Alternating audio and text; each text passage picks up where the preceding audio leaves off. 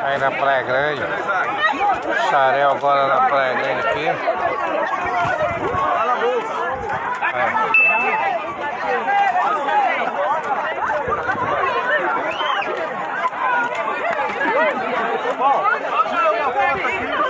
Deixa isso aqui pra mim, deixa é, com ela pra gente cobrar ela. Vai.